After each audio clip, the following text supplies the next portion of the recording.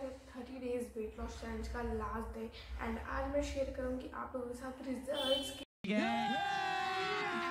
अभी मज़ा आएगा ना भिड़ो।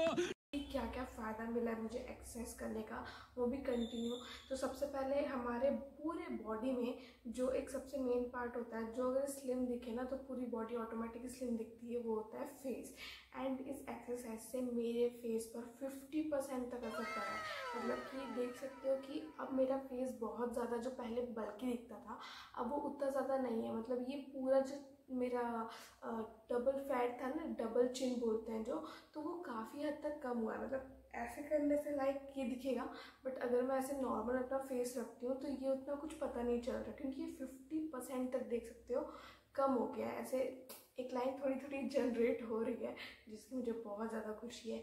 एंड बात करें मेरे पेट की तो वो मैं खड़े को दिखाती हूँ कि मेरा पेट कितना अंदर गया है। पूरा तो नहीं बोल सकती मैं ऑफकोर्स कि पूरा अंदर नहीं गया है। बट ये काफ़ी हद तक गया है. लेट्स वॉच ये मेरा पेट जो कि काफ़ी हद तक अंदर गया है. एंड मैंने कोशिश की थी कि ये इससे भी और अंदर जा सके. बट थोड़ा बहुत मेरे लिए मुश्किल हो जाता है अपनी क्रेविंग्स को कंट्रोल करना. इसीलिए अभी तक ये इतना ही अंदर गया है. बट चिंता की कोई बात नहीं है. हमारा एक्सरसाइज तो हम कंटिन्यू रखने वाले हैं. तो ये और धीरे धीरे अंदर चले जाएगा. एंड चीज़ और है कि हर बार जब भी मैं एक्सरसाइज अपनी स्टार्ट करती थी तो लास्ट होते होते मुझे बॉडी में बहुत ज़्यादा थकान, दर्द पेन बहुत सारी ये सब चीज़ें होती थी एंड मुझे मन करता था कि अब छोड़ दूँ, अब छोड़ दूँ। बट इस बार मुझे मतलब बॉडी पेन जो थकान होती है ना, वो काफ़ी कम हुई है बिकॉज़ मैंने अपना डाइट चार्ट बना के रखा था एंड उसमें जो भी चीज़ें लिखी थी मतलब प्रोटीन एंड जितने भी चीज़ें ज़रूरी होती है एक एक्सरसाइज करते टाइम पे, ठीक है? करने वाले लोगों को तो वो सारी चीज़ें मैं देती थी, जैसे दही हो गया, अंडा हो गया, मीट हो गया, हरी सब्ज़ियाँ हो गई, पालक वालक, ये सब चीज़ें। जैसे अभी तो बारिश चालू हो गया तो ज़्यादा भाजी खाना नहीं चाहिए बोलते हैं तो इसीलिए भाजी को तो फ़िलहाल मैं अवॉइड करने वाली हूँ। बट ये एक्सरसाइज एंड जो मेरा डाइट चार्ट है तो उसको तो मैं करूँगी फॉलो एंड बस आज के मॉर्निंग की शुरुआत भी हम करते हैं फिर एक्सरसाइज के साथ।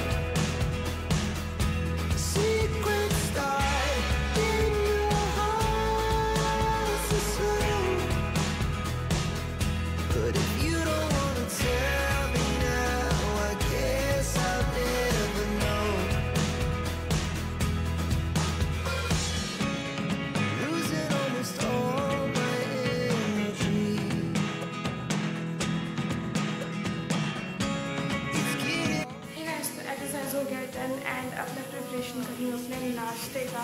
एंड यहाँ पे देख सकते हो, ये भी मेरा नाश्ता ही एक रहता है ब्रेड अंडा, ये सब चीज़ें।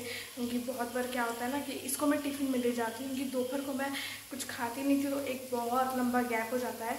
एंड बोलते हैं कि भूखे पेट रहने से भी पेट ज़्यादा बाहर निकलता है सब मोटापा आता है। इसलिए फिर मैं ब्रेड आमलेट ये सब चीज़ें रख लेती हूँ अपने दोपहर को टिफ़िन में खाने के लिए। ये है वो कुछ चीज़ें जिससे मेरा पेट ज़्यादा अंदर नहीं गया है। बिकॉज़ पानी वानी कभी कभी आता नहीं है पीजी में तो ये चिवरा ये सब मैंने रखा हुआ है कि इसको ही नाश्ता करने के लिए अगर पानी नहीं है कुछ बनाने के लिए तो। तो आज ऐसे बड़े टाइम बाद मैं बनाने जा रही हूँ अपने लिए। आज स्पेशल बिकॉज़ इतने दिन से एक्सरसाइज कर रहे थे। आज स्पेशल मैं बना रही हूँ अपने लिए छोले बट ज़्यादा मसाले वाले नहीं ऑफकोर्स क्योंकि मेरे पास मसालों की संख्या वैसे भी कम ही है। तो छोले बना रही हूँ मैं, साथ में बना लूँगी चावल एंड देन छोले रोटी टिफ़िन में भी लेके जाऊँगी।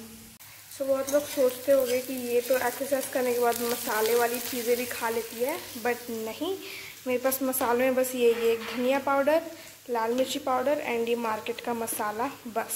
मेरी सारी सब्जियों में बस यही मसाले पड़ते हैं चाहे वो मतलब कोई भी वेज और नॉन वेज हो सब में यही पड़ता है मेरे। एंड साथ में मेरे पास बस एक्स्ट्रा थोड़े से खड़े गरम मसाले हैं दैट्स इट तो यहाँ चना उबाल के मैंने पानी के साथ ही निकाल लिए हैं। मेरा मन, मसाला अच्छे से भूंज रहा है एंड रात को ये सारे बर्तन मैंने धो चुके थे तो ये बर्तन को भी जमा देती हूँ। तो इस चावल भी यहाँ पे सेट करके रखती हूँ उतनी देर में सब्ज़ी चावल मेरा साथ में बन जाएगा एंड मैं तब तक नहा धो के रेडी हो जाऊँगी। वैसे लोग बोलते हैं कि चावल नहीं खाना चाहिए, चावल से और मोटापा बढ़ता है। बट यार, बिना चावल के ना मेरा काम नहीं चल सकता। एक बार को मैं रोटी अवॉइड कर सकती हूँ हफ़्ते भर के लिए बट बिना चावल के मैं एक दिन भी नहीं रह सकती। इतना मेरे को चावल से प्यार है। A few moments later. Hey guys खाना बनाना भी हो चुका है डन तो अब बस खाएँगे गर्मा गर्म हमारा ये टेस्टी खाना एंड निकलेंगे फिर ट्यूशन्स के लिए। तो यहाँ चावल बन चुका है एंड साथ में ये हमारा छोले भी बनकर है तैयार। सो गैस मैं हो गई हूँ रेडी एंड अब बस निकल रही हूँ ट्यूशन के लिए खाना पीना भी हो चुका है डन हियर इज़ मैं चश्मे वाला डाकू लोग तो मिलते हैं आप लोगों से नेक्स्ट व्लॉग में, जल्दी ही, तब तक टाटा बाय बाय